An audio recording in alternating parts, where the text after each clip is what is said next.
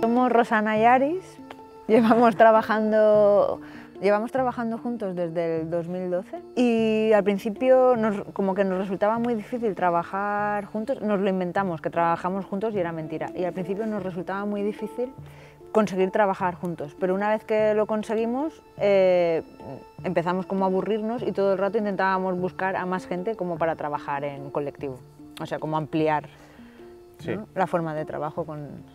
Sí, en realidad hacemos proyectos de como más abiertos, más grandes, como de, como de investigación y ahí dentro ya se va haciendo, se va cogiendo forma más pequeños resultados, pequeños, eh, sí, pequeños re- resultados o microproyectos que salen de varias direcciones. Walk to Work eh, surge como idea, eh, como consecuencia en realidad de lo que hacemos nosotros en, en- en- distintas ciu- ciudades que vamos a vivir, que caminamos mucho.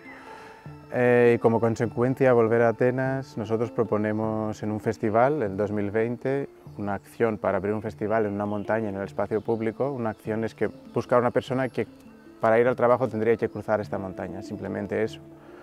Luego eh, era una experiencia muy bonita, ¿no? Para nosotros, para casi mágica era Sí, fue magia. era sí. casi mágica, entonces a partir de ahí decidimos de que esto hay que seguir. Uno, uno de estos caminos de investigación es el Walk to Work, que aquí, que aquí con Cultura Resident lo hemos, hemos ido a Centro Cultural de España en Chile en octubre, ¿no? Hemos Sí, estado ahí un mes octubre. y pa- para un poco co- con el, con el objetivo de, de estar todo un mes con las trabajadoras del Centro de Cultural de España allí. Podemos explicar esta reunión con ellas, que nada más llegar les hemos preguntado eh, que nos escriban su nombre y el tiempo que tardan o que creen que tardan de ir caminando de su casa al trabajo. Entonces, mm, a partir de hacer este ejercicio y hablando con ellas, es que nuestras nosotros explicando nuestras intenciones era de que, de que nos gustaría acompañarlas desde su casa, esperarlas debajo de su casa y hacer este camino hacia su trabajo, hacerlo caminando, eh, para compartir con ellas este- esta rutina, el día a día. Al, al igual lo queríamos hacer nosotros dos y al igual nos gustaría que más compañeros suyos le acompañasen a cada uno. Entonces hacer una cosa que se hace cada día, pero hacerla de otra forma.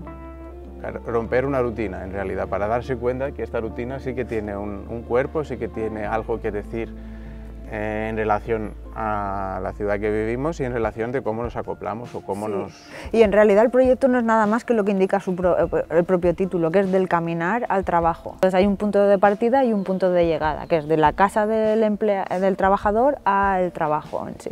El, el- proyecto en Chile, aunque iba para ver cómo lo materi- materializaríamos como un grupo de caminatas en un centro eh, y con, la- con- con los- con todos los empleados o la mayoría de empleadas, eh, al final con ellas es como se, se- se ha, se ha cogido una, una personalidad muy distinta al proyecto porque cada una lo ha, lo ha llevado donde quería también. Había una absoluta libertad, entonces una persona que solo, le da, solo vi- vivía a 15 minutos del centro le parecía muy injusto que con otras caminaríamos tres horas y dos, entonces decidió que quería todo un día con ella.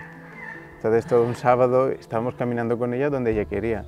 Entonces parábamos, íbamos a comer, luego nos llamaría y nos tenía otra cosa preparada. Era la que, man- la que mandaba. Entonces ella no quería ir al trabajo, quería llevar el trabajo fuera de, de allí. Sí. Y ella lo explicó y sí que, que cambia nuestro, nues- nuestras normas más rígidas ¿no? de casa al trabajo, nos la ha cambiado, pero con una justificación que yo creo que era también muy, Bueno, es que al final... muy válida. Sí. O sea, al final persona. nosotros planteamos una cosa, pero como es tan abierto, acaban ellos decidiendo lo que va a ser. Y como forma de recoger, ¿no? o el material del que nos llevamos y demás, no- hemos, allí como recogimos un montón de material, tenemos que aún tenemos que trabajarlo, ¿eh? porque no nos ha dado tiempo, pero o sea, Material como audiovisual. tenemos, o sea, es como hay una película planteada, es como hay una especie de película planteada. También hay unos textos porque allí nos pusimos como a crear como una especie de publicación, pero como es un proyecto todo el rato que está abierto y lo estamos haciendo, o sea, o sea que Chile es una parte del proyecto y lo que pasó en, resi- en, en residencias también.